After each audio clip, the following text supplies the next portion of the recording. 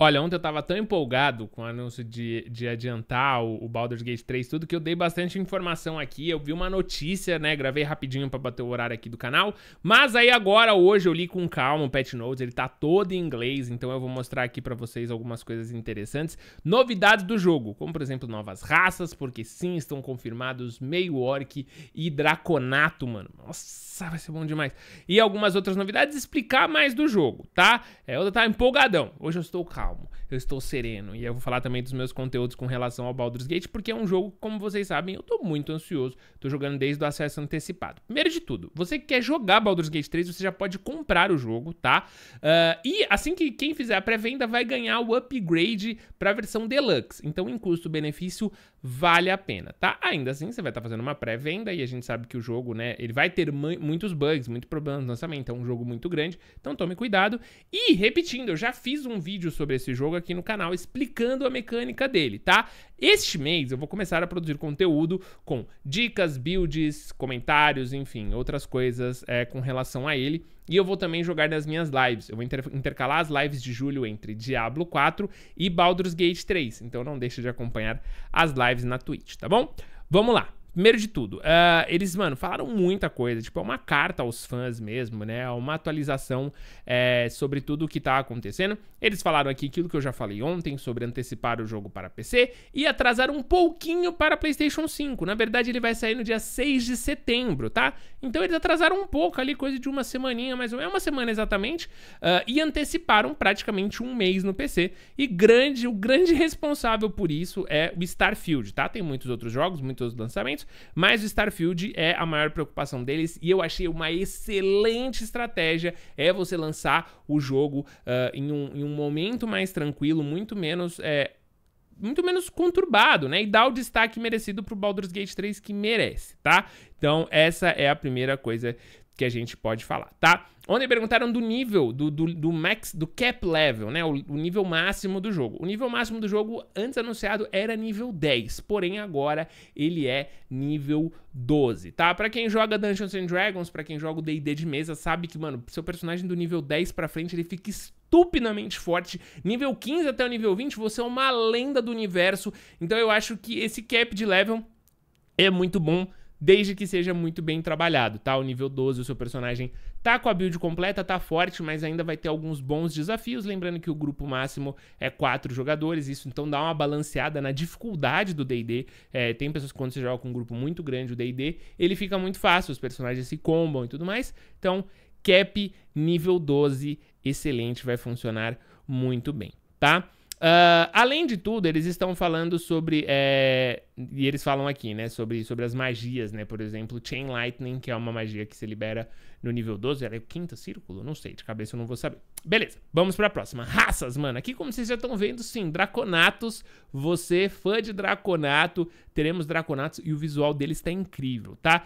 E não só teremos Draconatos, mas também teremos as cores dos, drago, dos Draconatos, porque de acordo com a cor do seu Draconato, você tem um, uma dádiva diferente, né? Uma magia diferente. Uh, então, por exemplo, pro Draconato de prata, é, você tem o dano de gelo. Pro Draconato vermelho, é fogo, né? E vai ter um total de 10 sub-raças, né? Então vai ter o Draconato preto, Draconato azul, Draconato bronze, é, Brass é cobre, né? Cobre, bronze... Não, cobre é, é cobre. Puta merda. Brass é... Ai, não lembro. É o latão, talvez. Latão, bronze, é, ouro, verde, vermelho prateado e branco, certo? E eles serão sub-raças. Se você já criou um personagem no Baldur's Gate, tem, por exemplo, tem um anão, que a sub-raça dele vai te dar bônus de força, e tem um anão que a sub-raça dele vai te dar bônus de constituição. Então, um é mais forte, um é mais defensivo, certo? É, aliás, eles já colocaram aqui, por exemplo, sobre o Panel from Hell. No dia 7 de julho, eu vou fazer a cobertura deste evento, vai ter uh, uma apresentação do jogo. E eles provavelmente vão. Não, eles já falaram que eles vão jogar com o Draconato, né? Com o Dragonborn.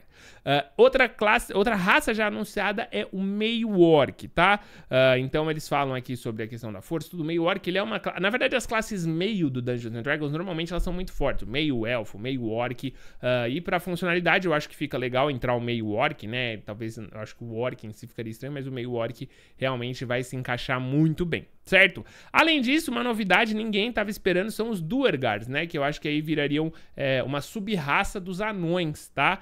É, então também vai ser bem legal. De, já no lançamento ele vai estar uh, disponível e é bem legal porque a sub-raça é o que realmente vai é, pô, dar personalidade, dar é, unicidade pro seu personagem. A raça, então o fato de você ser um anão vai facilitar o seu, o seu relacionamento ou não com anões, né? E a sub-raça, ela normalmente vai ajudar mais na build do seu personagem, certo? Aqui eles fizeram toda a tabela, uma tabela bem visível e bem clássica para você entender. Então a gente vai ter o humano, a gente vai ter os Githyanks, né? Já dá para jogar como personagem Githyank e os Half Orcs. Aí a gente tem as classes do meio, né? Então a gente vai ter, por exemplo, o anão, que vai ter o anão da colina, o anão da montanha e o do ergar. Uh, temos o elfo, o alto elfo e o elfo da floresta. Então o alto elfo normalmente ele tende a estar, a estar mais ligado à magia, enquanto o elfo da floresta tá mais ligado com a arqueria, né? Temos os Drows, uh, que vai ter a Seudarine Alof, eu não sei o que, que é, não manjo tanto de drone, nunca joguei de drone no D&D. Temos Tiflins, mano, já, já tem o Tiflin também, o Asmodeus, o Mephistófeles e o Zariel. Uh, temos aí Halflings, meio-elfos e gnomos também, cada um aí é o Halfling com duas subclasses, o meio-elfo com três. Uh, ó, tem o, o, da floresta, o alto-elfo e o Drow meio-elfo. Drow meio-elfo, que doideira isso aqui, né? Quebrado. Para Ranged deve ser animal.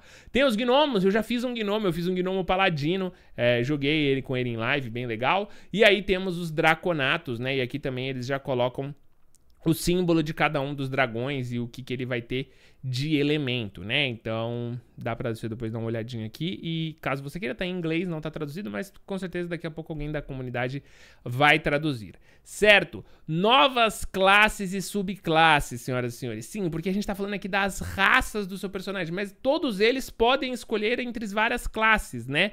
Uh, então, por exemplo, você pode ser um paladino, desde o anão paladino, que vai ser tancudo com escudão e tal, como você pode ser um humano paladino, como você pode ser um guitiano, então não importa. As classes não têm a ver com a raça. A raça vai liberar coisas sobre a história e a classe é a hora da build, né? Temos novas classes e novas subclasses, mano, porque também tem isso no D&D, conforme você vai subindo seu nível, você vai ganhando novas é, subclasses, né? Para você deixar ele com mais, uh, mais a sua cara, certo? E, inclusive, eles já mostraram aqui com este GIF irado o monge, o monk, né? O monk, uh, e eles já também falaram dos tipos de monk. É, eu já joguei de monge no D&D também, foi a minha, o meu personagem no D&D do Pedroca.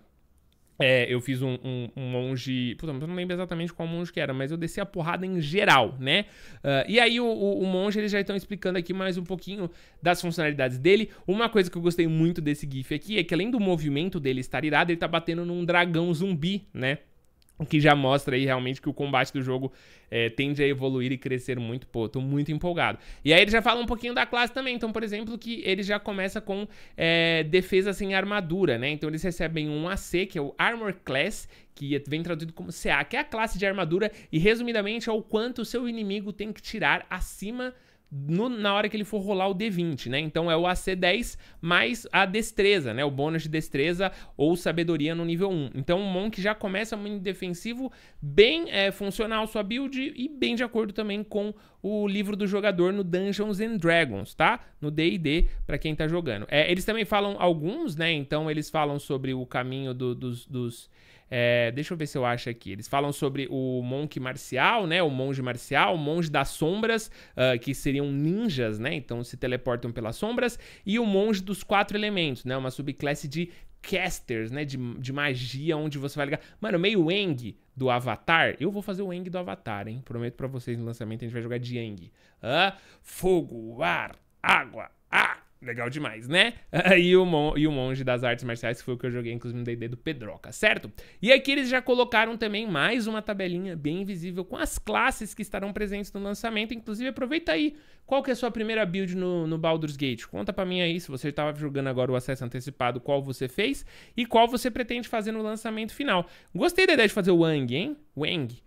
Vamos fazer o Eng, legal, pô, um monte dos elementos.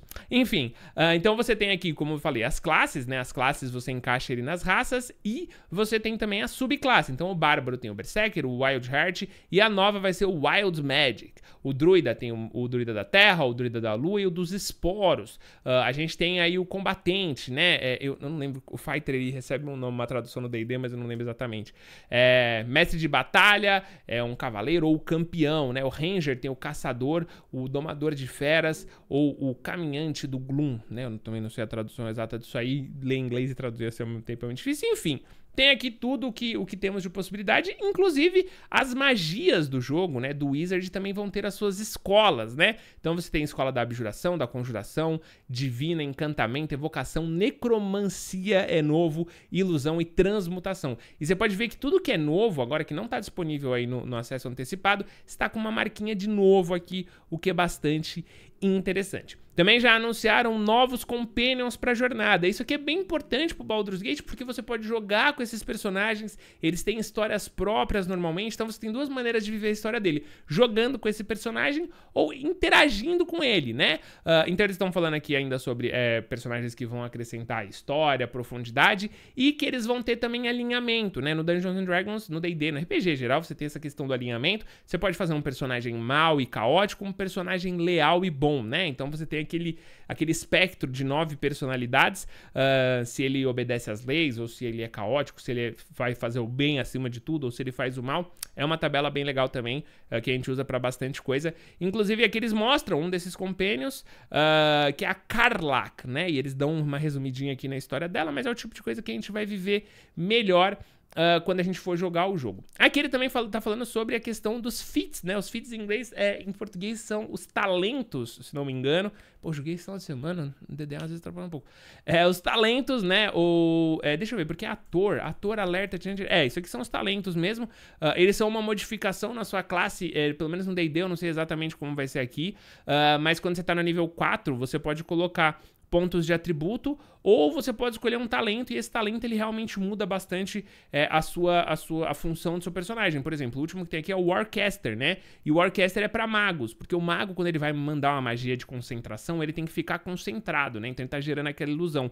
No combate, se alguém bate no mago, ele perde a concentração, né? Então você tem que rolar o D20 para manter a concentração e o Warcaster te dá vantagem, se não me engano. Você rola dois dados e escolhe o maior. Enfim, então é o tipo de coisa que vai ajudar bastante na sua personalização da classe e também na variedade que é muito gigante, certo? Além de tudo, eles já colocaram também as novas magias que estarão disponíveis no jogo, certo? Então tem muita magia, muita coisa bem legal. Quem jogou o Divinity tá ligado quanto que você tem de possibilidades, fora que às vezes você encontra os pergaminhos também, né? Então você pode usar a magia direto pelo pergaminho. É bem legal. Outra coisa que eu fiquei bem feliz aqui com é, o anúncio é com relação à dificuldade, mano. Eles lançaram que vai ter um modo hardcore, que a porrada é franca, né? Porque ele é um, um, RPG estratégico, eu adoro, eu adoro me sentir desafiado jogando um jogo que nem o Baldur's Gate. Não é um hardcore igual o Diablo, que é permadeath, mas é um hardcore, apesar que Baldur's é meio que um permadeath, mas é que ele tem save state, né? Então se você morre, você pode dar load. Mas se o seu personagem morrer e você não quiser dar load, né? Deixar mais realista, você pode seguir o jogo e procurar pergaminhos de ressurreição, né? E você reviver o seu personagem. Tem também um, um NPC que você libera, que pagando acho que 500 moedas de ouro, ele revive seus personagens mortos. Uh, mas enfim...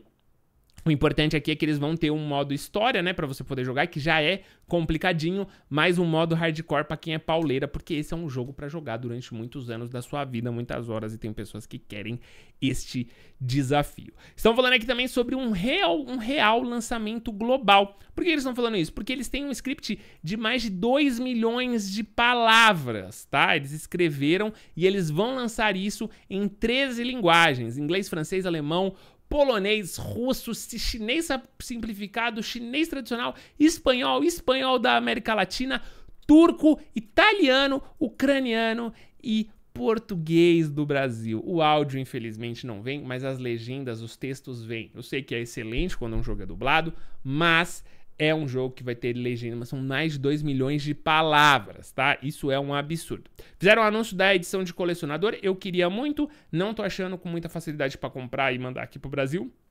Vou ver se eu arrumo uma importadora. Mas eu não queria tanto a. Eu nem necessariamente queria tanto a, a, a, estátua animal. Mas eu queria as fichas, sabe? Tem um, tem um escudo, tem uns negócios que para quem joga DD aqui são bem legais. Se eu achasse, eu pegaria. Certo?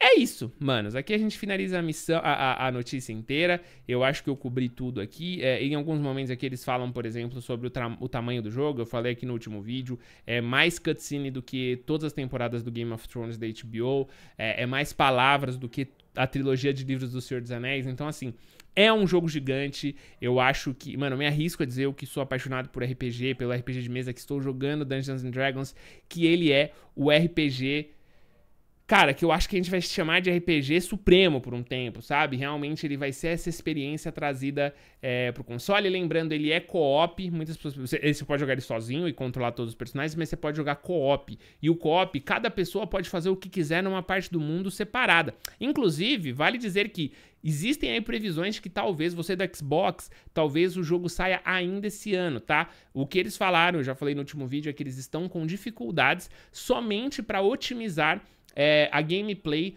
é, cooperativa de split screen, sabe, tela dividida, é, no console, no Xbox Series S. Mas eles vão conseguir arrumar e na verdade eles já teriam lançado o jogo sem essa função, mas a Microsoft não permite que você lance um jogo que tenha uma função no Xbox Series X que não tenha no Xbox Series S. É uma questão de regulamento, então a Larian já está trabalhando. A Larian é uma empresa um pouco menor, uh, mas estão aí realmente é, focando agora esforços para ter um bom lançamento no PC um mêsinho depois ali, né? É, com, agora com um atrasinho de uma semana.